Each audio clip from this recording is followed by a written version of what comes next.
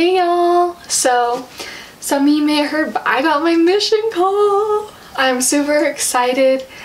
Um, but yeah, I got it last Tuesday and I'd been kind of waiting for for like two and a half weeks and so like I knew like when it should have been coming and then like it came and I freaked out and then in between classes I actually Skyped in my whole family and I opened it up and oh my gosh I was such a mess but yeah check out this clip of me opening my mission call. Okay. Okay, yes, read it now.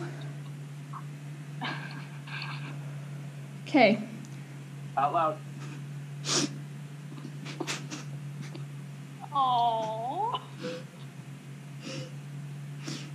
Carly, could you take Jordan?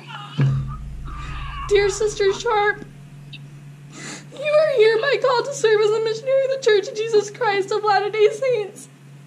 You are assigned to labor in the Washington Seattle mission.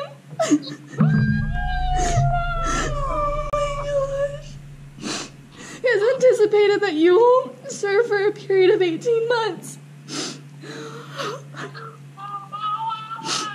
You should report to the Provo Missionary Training Center on Wednesday, May 29th, 2019.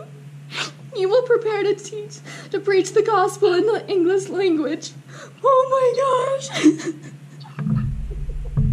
I'm going to Seattle! Oh my gosh! Oh my gosh! Oh my gosh! Are those happy tears for Seattle or no? I love Washington! Oh my gosh! Oh my gosh! Oh my gosh!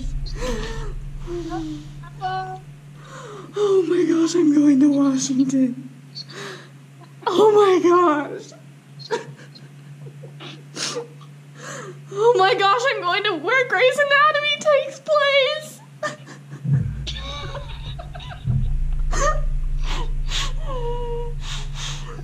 Oh my gosh. Oh my gosh.